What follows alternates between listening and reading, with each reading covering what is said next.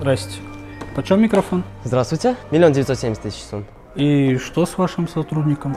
Ну-ка. О, опять шаманит скидки на HyperX.